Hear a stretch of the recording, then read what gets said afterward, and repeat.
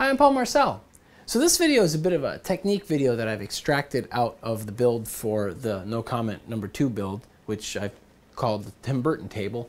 And what this is about is when I created this octagon, I created all seven sides of it because I knew that the compounding of errors was going to make it that the eighth side really wasn't going to fit perfectly anyway. So I may as well glue up all seven sides and then measure off what would be the eighth piece that I need so I get a perfect fit. And that's what this video is about, is the technique for doing that.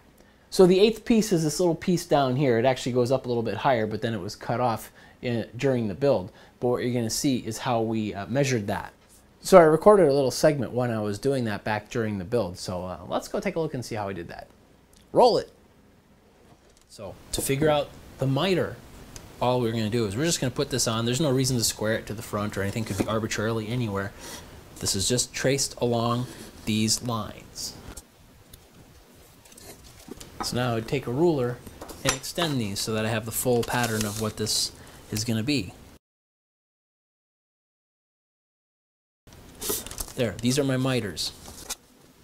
Now, one thing I didn't explain after I traced the miter pattern onto the paper is, well, what the heck do you do with it? Now, if you're creating a triangle like this, what I actually did when I did that is I took it and I had drawn it directly on the wood that I was going to be cutting. So instead of the paper, I had a piece of wood there and I just traced it. And then I eyeballed these exactly like you saw in the video about the tapered octagon. That's how I did the mitered cuts. Now I didn't have fence blocks on the side because of course I didn't know what those miters were.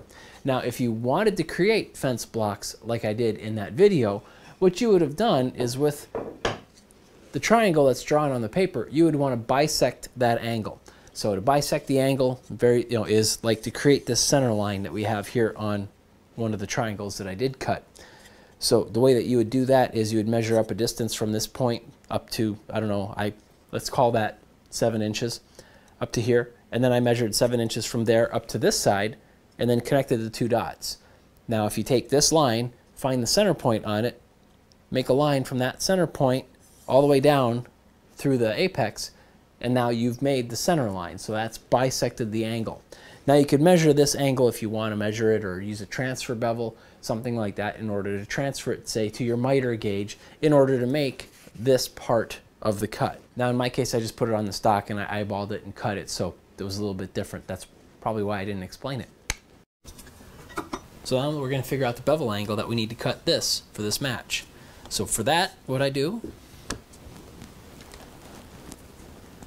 is the surface of the bench acts as the plane, the plane of the of the triangle that we're trying to put here.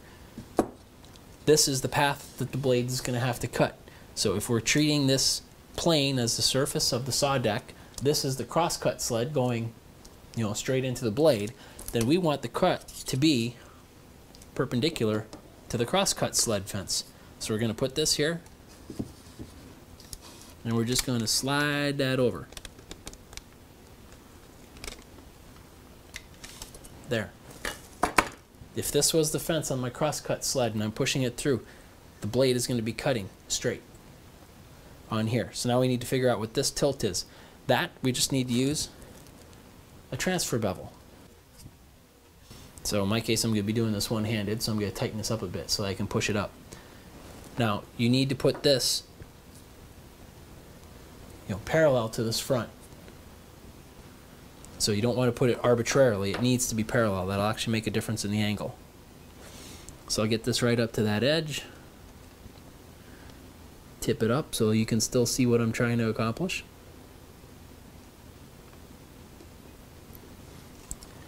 Right there. Tighten it up.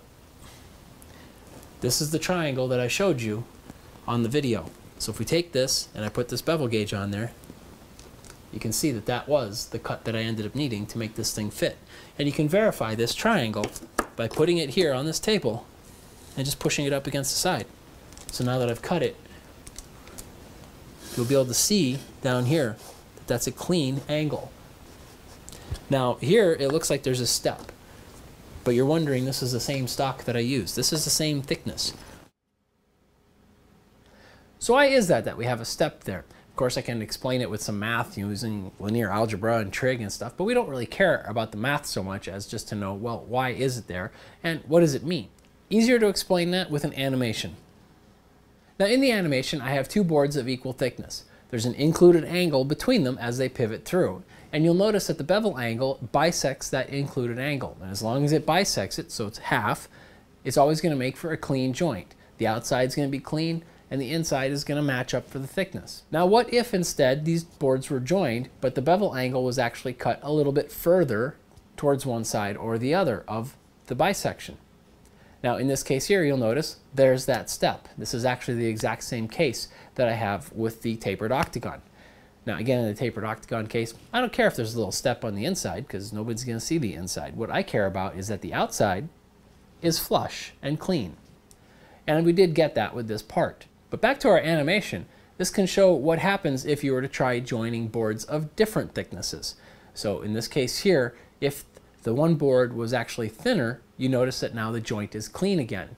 So in the case of taking dissimilar thicknesses of boards and joining them, the bevel angle isn't going to be the bisection of the included angle. It's actually going to lean more towards the thin board side. Now, how much does involve math, and we're just not going to do that right now.